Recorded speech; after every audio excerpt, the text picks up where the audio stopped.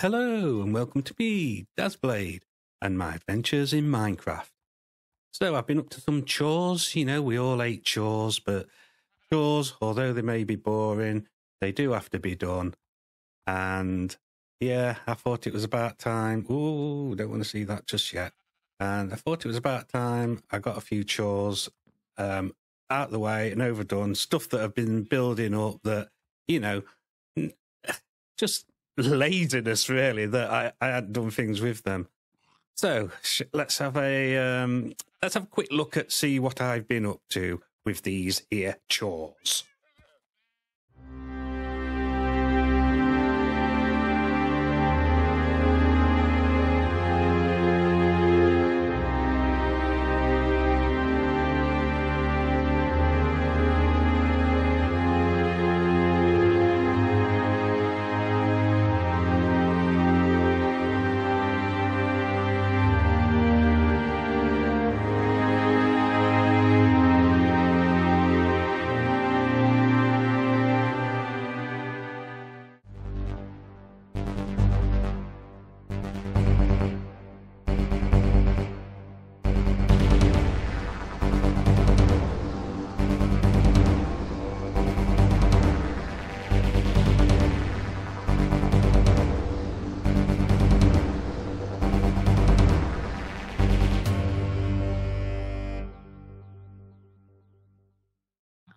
So that's chore number one completed. As you can see behind me, we have Unbreaking 3 and Efficiency 5, which is very nice indeed. And if we have a quick look here, poor Jeff has been at it again. Um, he's died so much now, I've decided I'm going to start putting numbers after his name. So we're now on Jeff the Fourth. who knows? Who knows how many more times he's going to die? Oh, Jeff, what are you like? I don't know. What we're going to do with you, mate? Um, now, I've left this piston here um, purely because um, I've had an idea or an easier way, I think, to zombify um, these villagers once they're in place. Um, I think you can probably guess. Hmm? Well, I shall put you out your misery and tell you. Basically, what we're going to do is, thanks to um, Zimby here, um, we now have Zimby Jr. Yes, we do. Zimby Jr. What's the piston doing there? And ask. Um, yes, we have Zimby Jr., who I'm hoping is going to be a right little ankle biter. Are you going to be an ankle biter, Zimby Jr.? I hope you are.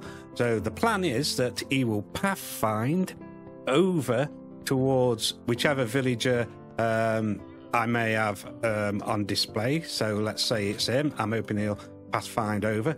Of course, I'm going to drag the boat over a bit closer so Zimby can um, do his pathfinding, and hopefully he'll go munch, yum, yum, yum, nom, om, nom, nom, nom, nom, munch, munch on the little ankles down there, and job done. Well, that's the plan. But yeah, that's um, going to be tried out in a later time.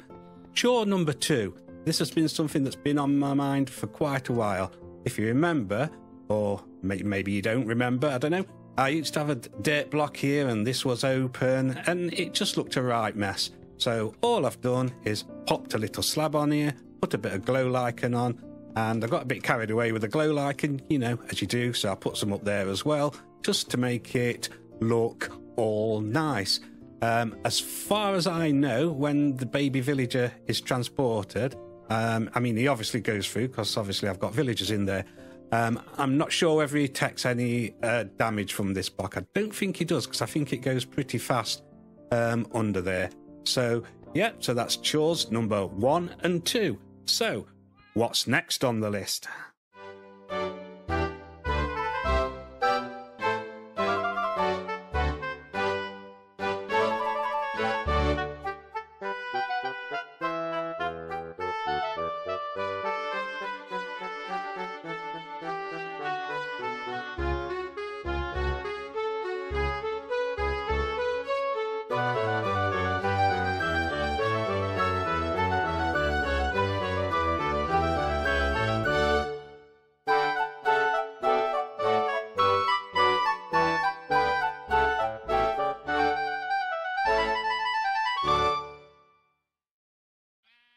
We've now added brown wool to our farm, and that's just what we needed.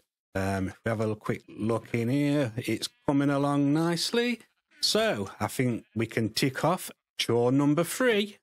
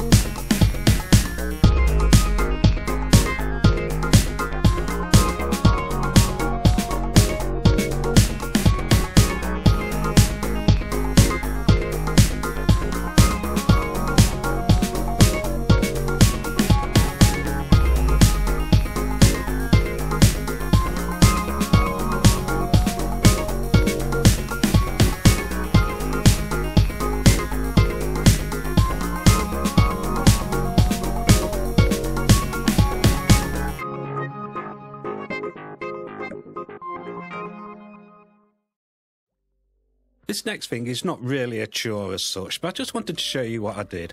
Basically, around here I've added underfloor lighting. Each of these pieces of cobblestone indicates where I have a torch. Um, I'll show you what I mean.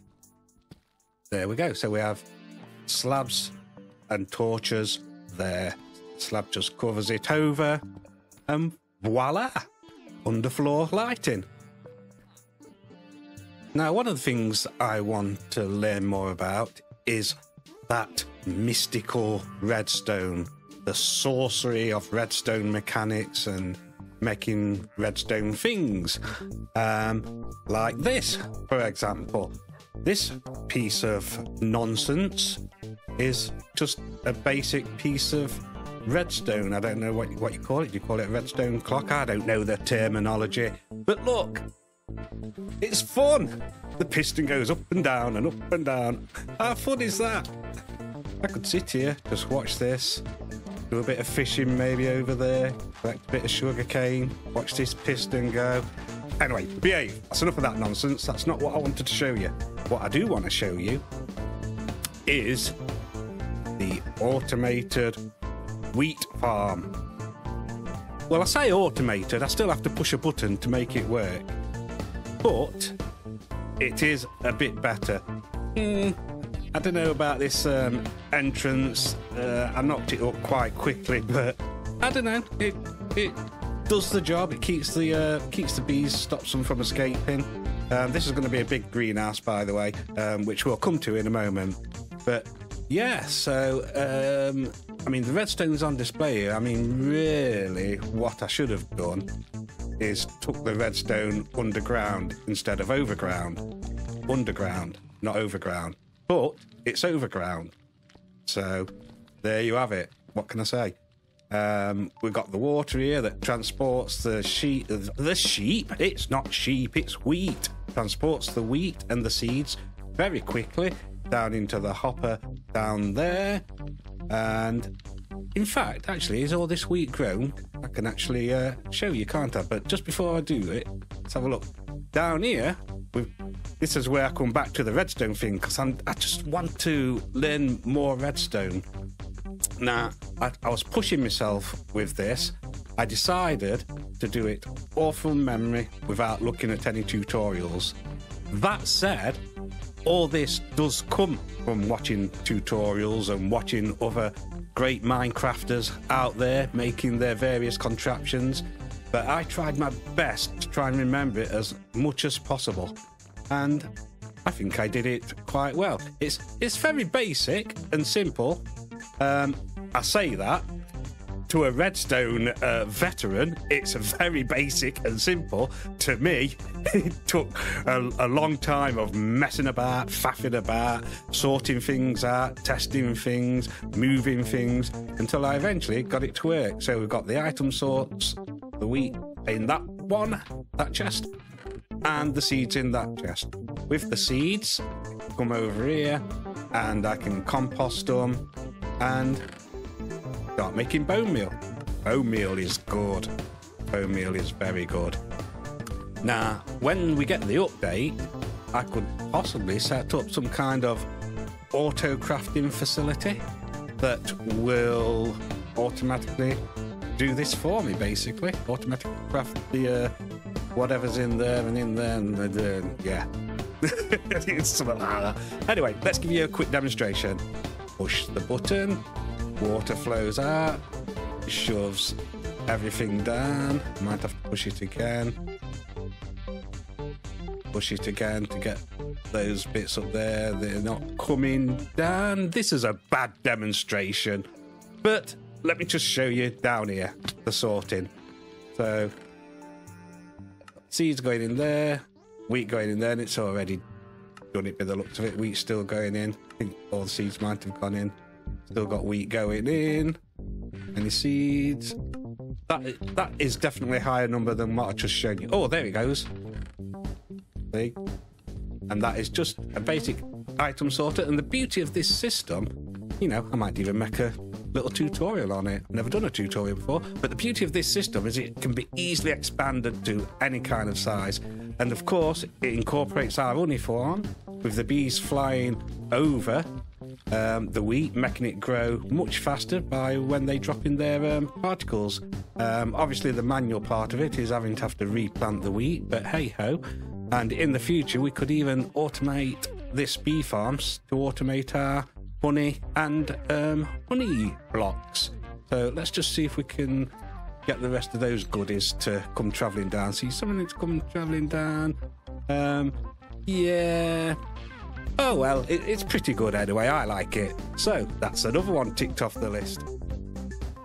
Okay, next up was to get rid of our wheat farmer and the all of the wheat farm and we've con- now converted it successfully into a pumpkin, a pumpkin, and yeah, it's a pumpkin and melon farm. Um, you playing that dog blade? Come on, keep up, boy, keep up. So here we have it. Let's just uh, uh okay, you can s- s- sit down there. Oh, dog blade, come hither. You sit there for a minute. Okay, so we have a simple system. It was quite good actually because I didn't have to um, demolish the building and I already had the collection system in place, so that was all pretty groovy. Um, now, this one is from um, a tutorial that I saw, and it, uh, who was it? Um, I think it was Prowl. Yeah, I'm pretty sure it was Prowl. Yeah. Um, so basically, you're making like a, a, a checkerboard effect in there, um, and you alternate the pistons and so on. A few observers in there. Um, so when something, when the observers detect something, every single piston in the farm all, will all push down, and the collection system will collect whatever comes of it, whether it's melons, pumpkins, or whatever. And here we have it. So I had to amend this system because previously this was running permanently um, before. I didn't think to have something in place, some redstone, um, but we're learning redstone. I didn't think to have any redstone in place to uh, make the cart automatically stop here, unload, and then automatically go off on its way again after it's unloaded all its goods. But now that is exactly what it does do. And in here, you see we're getting uh, loads of pumpkins, we're getting melon slicers. As the melon slicers are coming in, um, we just crafted them. Oh, did you hear the pistons go there? So we'll be getting a collection anytime soon.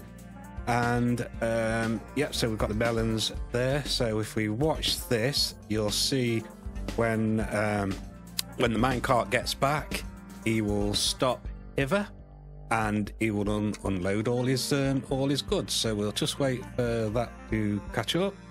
And here we go. Here is it. Let's have a look, see what we're getting in there. We're getting some pumpkins, getting some melon slicers. Now, you may ask, why did I get rid of this wheat farm and replace it with the other wheat farm? Well, the other wheat farm was fun, fun to do, and it serves its purposes basically. Um, and a melon and pumpkin farm, as you may or may not know, is good for trading with farmer villagers. And they are going to be the next villagers I get into our trading or I'm going to get a couple of farmers in there, and we can sell them melons and pumpkins and get more emeralds and um, do all the tradey, tradey, trading stuff, which is all good. This is a, another better view of it. You can see inside there where everything's planted. Um, when the observers detect um, a movement in there, something growing, um, every single piston will get fired. And I've only used four observers, which was recommended by Prowl, but I think he did say you could could go up to eight maximum. Anything more than that would be overkill or break it. He explains it all. Go and watch his tutorial. It's a good one. Of course, finish watching the rest of this episode first and then go and watch his tutorial. Highly recommend it, especially if you need um, a melon and pumpkin farm. Very efficient. Okay, Dogblade, it's time for me and thee to get back to base. We've got a greenhouse to build over our new sort of automatic wheat farm. Come on, boy, let's go. Okay, Catblade, Dogblade, you guys better behave yourselves, because now we're going to be jumping into some speedy time to get this greenhouse completed. Yay, are we all excited? Uh, yeah, okay, let's go.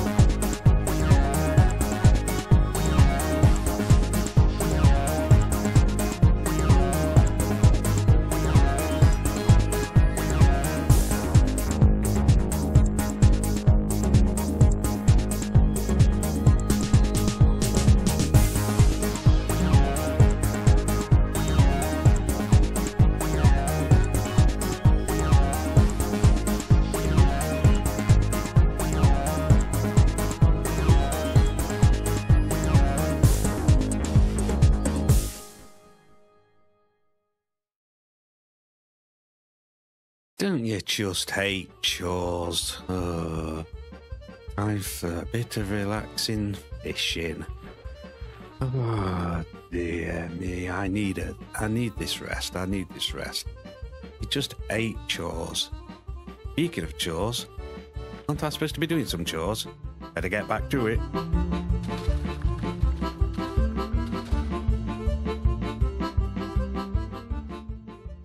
Two farmers. Yay! Golden carrots for life. Uh, still got a bit of cooked beef to finish off.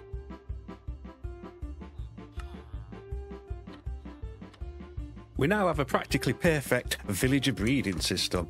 So the water stream now goes directly to the track. So I push the button and the cart comes out, grabs the baby villager, takes him down these tracks down there, and does that business over there. I also added some gates here. It, I, open, open the gates so I can get easily get in and out. And everything is looking. Hang on a minute. These aren't the chores I'm supposed to be doing. Let's get back to the greenhouse. Speaking of the greenhouse, we're halfway there. We now just need to get the other half done. But don't blink or you'll miss it. And we're done. What? You didn't see it? What do you mean? I did tell you not to blink. Did you blink? It's done. Let's have a look at it from some other angles, shall we? Yeah, it looks okay from over here. Um, I used white stained glass and obviously uh, copper. Uh, tried to do the very same lighting at the top there, same as we've got up there to keep it consistent. So, hmm, it doesn't look too bad, does it? let's try another angle. Ooh, this is a good angle. Get a bit of a more clearer view of it.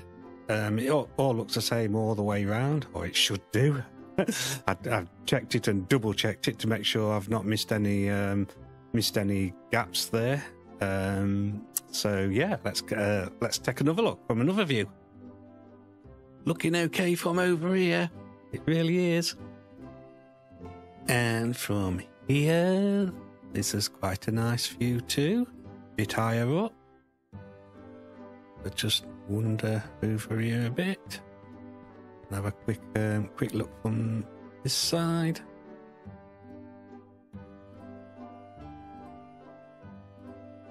Hmm, not too bad. And from here, a bit further away.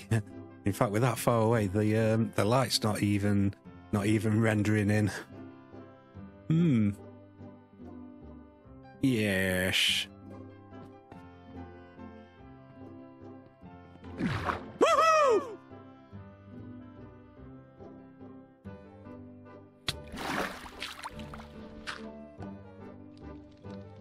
This is what it looks like from the inside. Um, I didn't go for totally circular design. It's kind of a mixture, a circular, squarey, circly, circly, squarey thingamajig. That's what it is. A Bit like, um, I'll tell you what it reminds me of. Uh, you ever remember a game called Q*bert? Well, if you're old enough to remember that game, you'll know exactly what I'm talking about. And this bit of dirt here marks the exact centre spot, which I've done just in case I need to do something inside here. I don't know. Might might just leave it empty like this, or I might uh, might do something inside it. But what does need doing is some terraforming around here. We need to make all all this look nice at the back. So that's gonna take some time to do, but it will um, it will make it look a, a, hell of a lot better this area once once this is all nicely terraformed. So yes, um, the greenhouse is finally more or less done. I still got to um, automate this honey farm and then that'll be like the final the final chore for there. Um, probably won't get around to doing that this episode, but um, it may be or maybe not done for next episode. I also need to get a uh, mob farm so we can get even more XP. We're getting loads of XP from from the traders, um, so that's you know doing all, all the necessary repairs on tools and whatnot. So yeah, we'll have to uh, we'll have to wait and see what happens. Oh yeah, the, the wiki says that you should be able to dye the dog collar. However, when I try to do it, hmm, nothing happens. So I'm thinking that must be just a Java thing. Damn Java. Hmm. We need to be able to do it on Bedrock. Why? Why can't I do it? I want a red collar. He should have a red collar, shouldn't you, Dogblade? He's dying for a red collar. Well, he's not dying because he's not going to die, but he wants a red collar. I want him to have a red collar.